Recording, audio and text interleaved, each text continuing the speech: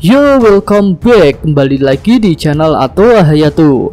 Bagaimana kabar nakama sekalian? Semoga selalu baik-baik saja.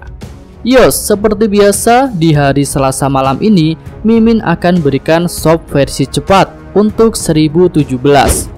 Ya, di sini sudah cukup banyak poin penting yang terungkap. Dan tanpa basa-basi lagi, langsung aja kita masuk ke poin yang pertama. Di sini kita bisa melihat Otama sudah memberikan perintah kepada seluruh gifters yang sudah memakan kibi dangonya dan perintahnya adalah untuk menjadi sekutu para samurai.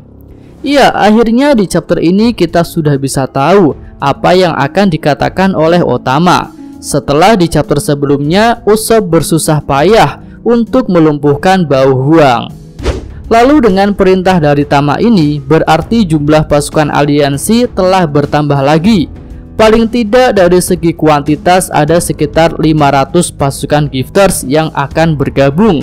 Lalu secara kualitas tentu akan lebih baik lagi. Karena satu gifters tentu akan lebih bermanfaat daripada beberapa waiters apalagi para pleasures yang sudah dapat efek samping untuk tertawa. Oke lanjut ke poin berikutnya. Di sini ada konfirmasi bahwa Luffy telah diselamatkan dari bawah lautan. Iya, tentu dengan kemampuan Polar Tank dan kru lau yang sudah terbiasa dengan hal medis, menyelamatkan Luffy adalah hal yang cukup mudah. Apalagi jika mereka bukan pengguna Devil Fruits, tentu tak akan ada hambatan untuk berenang di dalam lautan. Lalu menurut Mimin, Luffy akan dirawat beberapa saat di dalam kapal selam medis itu sebelum akhirnya kekuatan dan stamina Luffy akan kembali full untuk menantang Kaido lagi. Oke, beralih ke poin selanjutnya. Di sini memberitahukan tentang sebuah pertarungan yang sudah semakin menarik, yaitu pertarungan antara Sanji versus Queen. Iya, setelah di chapter lalu Queen dihajar oleh Sanji, tentu di chapter ini dia akan bertarung serius.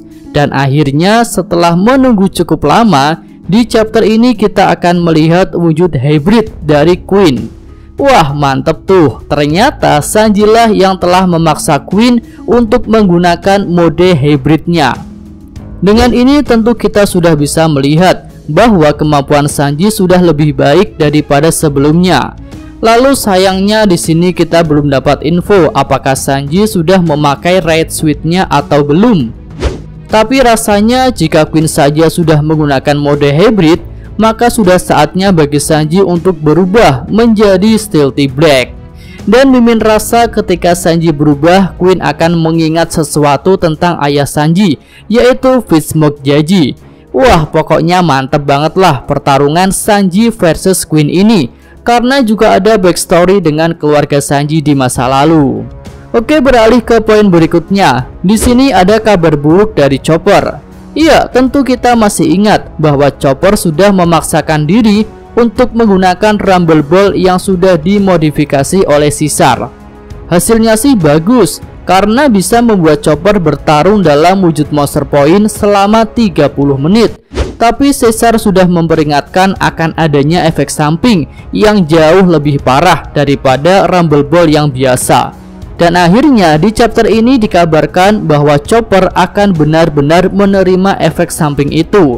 Tapi sayangnya di sub versi cepat ini belum dijelaskan mengenai efek samping seperti apa yang akan diderita oleh Chopper. Ya mudah-mudahan di shop versi lengkap nanti kita sudah bisa tahu mengenai efek samping seperti apa yang akan ditanggung oleh Chopper.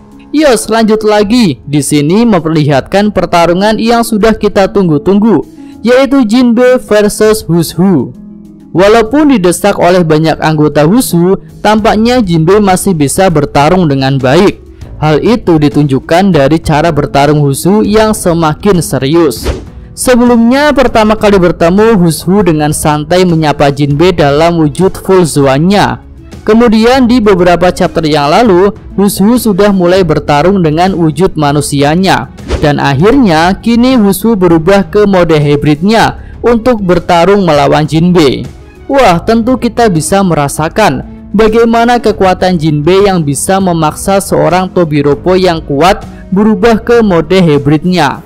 Tentu Hushu dan anak buahnya mendapatkan perlawanan yang tak mudah dari Jinbe. Nah, selain berubahnya Hushu ke mode hybrid, di chapter ini juga terungkap mengenai masa lalunya. Dan sepertinya hal itulah yang membuat Hushu bisa mengenal Jinbe yang saat itu masih menjadi seorang Shichibukai. Ya, ternyata Hushu adalah mantan anggota Superpol, lebih tepatnya di CP9. Tentu dia berarti pernah tergabung dengan Luci, Kaku, dan rekan-rekannya yang lain.